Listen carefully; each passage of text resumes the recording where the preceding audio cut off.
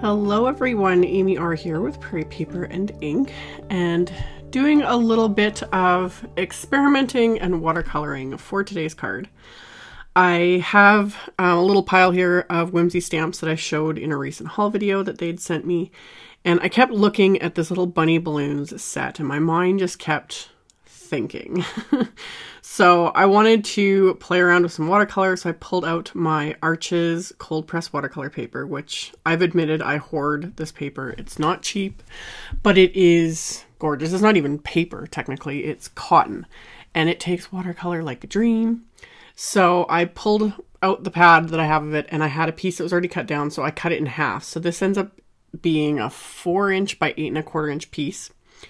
And I was originally going to make just a regular, like, A2 size card, but in my head, I was thinking these little, you know, bunnies floating with the balloons, and I was like, I need a taller um, workspace here for a scene.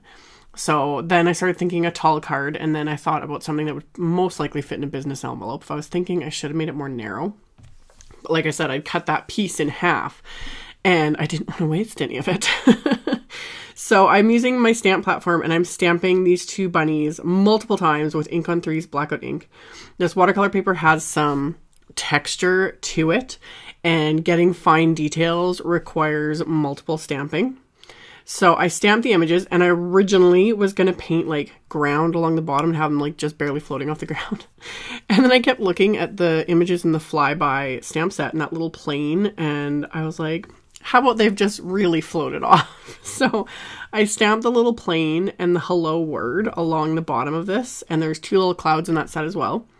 So I stamped those um, a couple times with that blackout ink, and then I just used the backing of the packaging to be able to reposition those clouds without having to clean them off and so that they didn't smear any of the ink on this watercolor paper.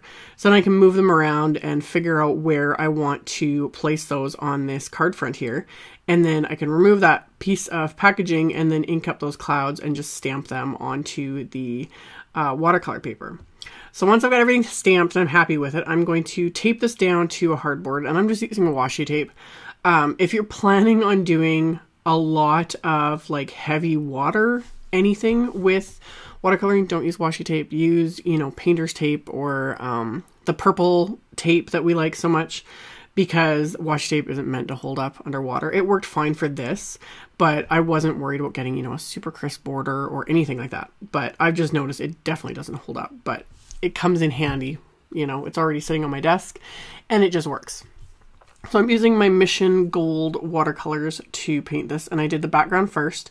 Very simple. I just um, mixed up one of my blues with a bunch of water, so it's just kind of a lighter color. It will dry back even later. And I tried to move quickly enough to not get any hard edges, which is just, um, you get hard edges when, um, say, all those like lines where the color ends there. If that dries too much and then you go in to finish, and add more color, it ends up drying back and you see, you know, lines and water spots and things like that, which a lot of times I don't really care.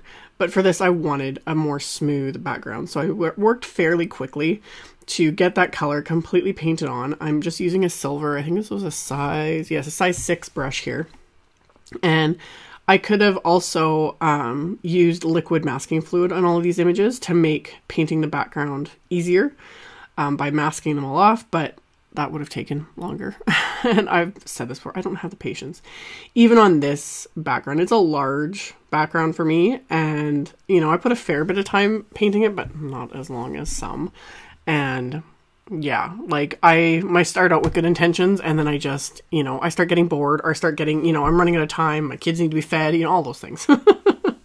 so I just do what I can do. But painting a simple background like this, it wasn't difficult to just kind of go around the images in a few spots I did get the blue over onto like the balloons and the clouds, but I'm going to paint over that anyway, so I wasn't too worried about it.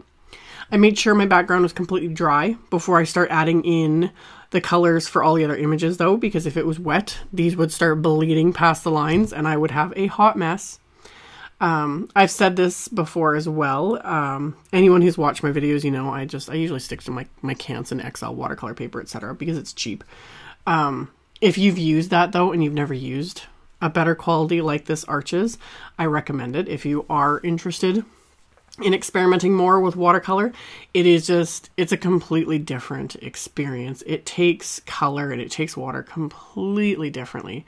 And I like to use the arches when I'm, you know, gonna paint a scene like this or, you know, something that I know I'm gonna be spending a bit more time than I usually do on. And I want guaranteed good results. So I'm not experimenting quite as much. Whereas with cheaper watercolor papers like the Canson and whatnot, um, you're fighting the paper more. Colors just, you know, don't show up the way they're supposed to. The water doesn't move the way it's supposed to. It still works. I'll still keep using it because I've got tons of it. but I do really like this arches. So I just keep going in with um, these watercolors and just kind of painting in layers here. And I dry them with my heat tool. I don't let them air dry. Um, it does change the looks of things a lot of times if you speed up the drying process. But again, I don't have patience, and I wanted to be able to go back in and add more layers. Um, I wasn't really paying attention to light theory or anything like that. Um, you know, putting the shadows all in the same areas on all the images to make things consistent. I was just adding color and just kind of letting my mind wander while I was doing this. So I wasn't even looking half the time at the camera. Like I forget sometimes that it's even, you know, filming. So there were parts I had to cut out because I was, you know, painting along the bottom like the airplane and that, and you don't even see it because it was completely off screen. So I just kept going along, painting these in. It wasn't super difficult because all these images are separate. It's a whole other story when you're painting, you know, a floral image or things where all the images are kind of right next to each other, overlapping, etc. But with this, it was simple because like all the clouds are separate, each bunny separate, the balloons aren't touching, the airplane separate. So I could just keep going along and doing each area and then letting it dry while I paint in something else. So I just kept working in layers and a lot of times I would clean off my brush so that there was nothing but just clean water on it and would move kind of the color around or remove some of the color on areas where I would apply it too dark.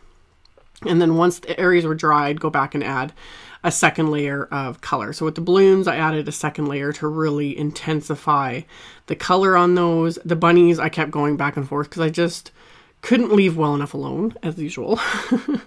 like the one I wanted to be obviously a little brown bunny, and the other one he was kind of a calico bunny, and then he just got messier and scruffier the more I painted him. he started just kind of developing his own little personality. But these images were so cute. I was just I was having fun with all of it regardless. So I just kept going in and adding more paint, more watercolor. And then once I was satisfied with everything and decided I'm not going to keep messing with it because I'm just going to end up turning this all into a muddy mess. Um, I wanted to add highlights, and I've I've mentioned this before in videos. I am the worst for intentionally leaving areas for highlights while coloring. I like to add them in after. It's just easier that way. So um, that's what I did here. I just have some Winsor and Newton white gouache. And um, if you're not familiar with gouache, it's kind of a cross between acrylic paint and watercolor. So not quite as pigmented as full-on acrylic paint and not as transparent as watercolor. So um, I noticed with this, I kind of watered it down first, and the first layer of highlights, as it dried, it almost completely faded right into the watercolor. So I ended up going over everything multiple times and using just a stronger concentration of the gouache to get it as white as I wanted. If I if you want really white white highlights, my favorite is Copic opaque white, which I've shown in tons of videos. That is like my holy grail. You know, all hail the Copic opaque white. It's amazing. The white gouache though, I like it too. It's just not as white. So what was left on my acrylic block, I splattered onto the background while I was at it. And then I went along and outlined the bunnies and the balloons and ended up actually outlining the hello sentiment. Um, I use my Pilot addressing pen, which is extremely black. I don't do this very often. I've I actually said this I think in just my last video.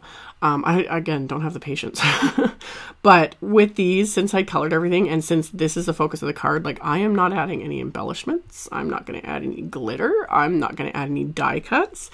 So the this is the card. So I wanted to outline these bunnies just to bring that definition back and kind of make them pop a little bit more.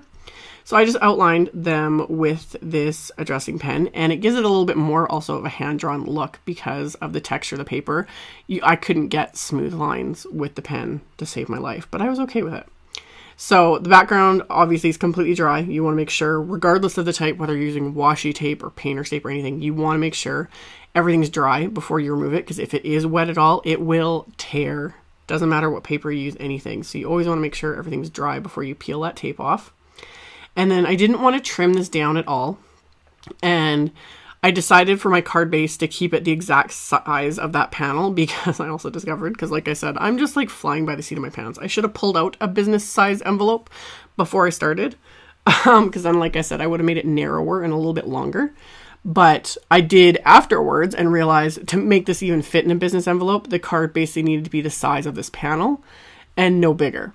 So I cut down a piece of white cardstock to eight inches by eight and a quarter inches, and then I'm going to score it in half. So this will end up being an eight and a quarter inch by four inch card that will fit in a business sized envelope.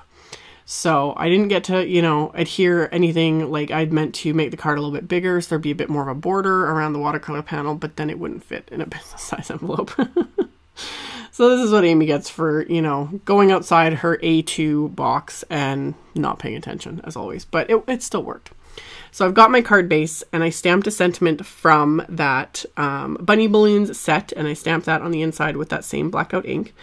And then I grabbed those clouds from the flyby stamp set and I just stamped those with Simon's Surf Blue ink along the inside of the card as well, just to, you know, give it a little something. So once I've got those stamped to adhere that watercolor paper to my card base, I used um, Scor-Tape for this because um, like I said, it's got it's got a good texture to it and I wanted to make sure this adhered really, really well. So I just covered the back of this with the Scor-Tape, which I don't reach for often enough, and yet it's an amazing tape. So peeled off the backing, I'm going to stick that onto my card base, and that's going to finish off my card for today. So as always, I'll have a link below the video to my blog post with links to all of the supplies used, so you can check that out below if you are interested. Thank you all so much for watching and for subscribing and for thumbs upping and for commenting on my videos. Make sure to hit the little notification bell next to the subscribe if you hadn't, if you haven't already, and then you'll get notified when I post new videos, which is almost every day. And yeah, I will see you all very soon in the next one. Bye!